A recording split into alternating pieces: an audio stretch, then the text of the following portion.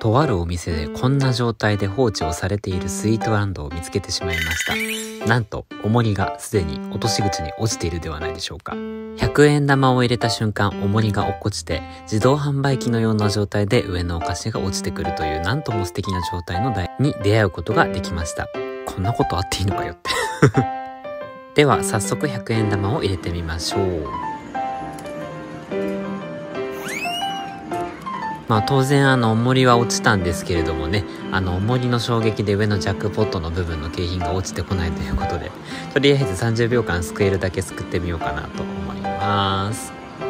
まあね、スイートランドって5になってからなかなかすくうのが難しくなったような印象があります。スイートランド4の時は結構ね、あの地面ギリギリ、川のすくうところギリギリまでショベルが降りてくれたんですけど、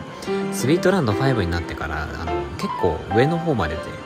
アームが止まっちゃうんですよね。なのでなかなかすくいづらくなったそんな印象が思います。そうこうしているうちに30秒が過ぎて何も落ちてきませんでした。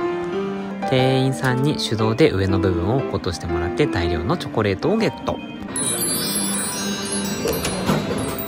さっきはただの自動販売機の紹介みたいな動画になってしまったので、今度は崩しやすいハイチュウのタワーの落とし方のご案内をしていこうと思います。最近はテーブルに滑り止めや斜面などの小細工があることが多いので、それがないことを前提とするんですけれども、ハイチュウのような細長い景品の場合、櫓のように、イの字っていうんですかね、のような積み方は道具に突っかかりやすくなっています。ちょっと手作り感満載でスイートランドを再現してみるんですけれども目の前にはドームがあってこのようにですねイの字だと引っかかりやすくなっています。ここから落とすのって結構大変なんですよね。一方で先ほどの写真のような積み方平べったい積み方をしているとですねドームとある程度距離があればですねこんな感じでスポッとたくさん景品が落ちるようになります。ということで実践をしていこうかなと思います。はい、ご覧のように平べったく積んでくれているので、もうひたすら、あの、硬い景品とかなくてもですね、比較的簡単に取れるんじゃないかなと思います。あとこの台良心的でテーブルの動く幅がめっちゃ大きいんですね。でスイートランドってこのテーブルの動き幅も設定ができるのでテーブルは動けば動くほど取りやすい台だと思っていただいて大丈夫です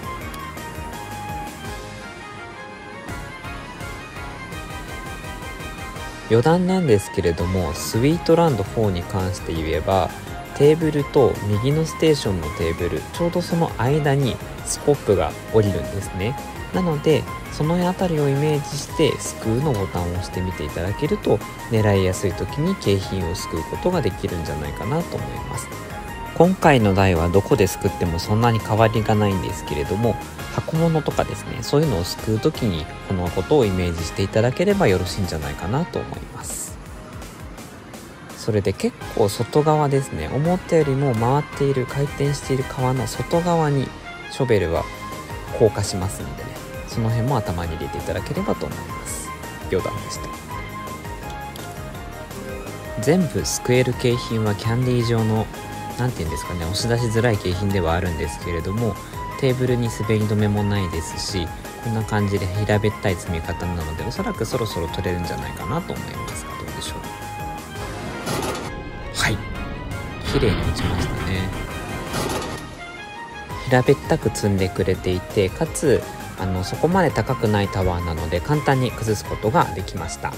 300円でこれだけ取れれば上出来ですかね。積み方がこんな感じで平べったいタワーはですね簡単に崩しやすいので皆さん見つけてみたらよかったらやってみてください。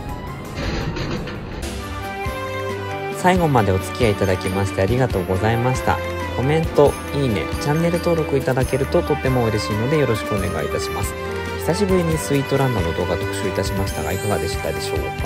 またね、楽しいスイートランドの台見つけたらやっていこうと思うのでよろしくお願いいたします。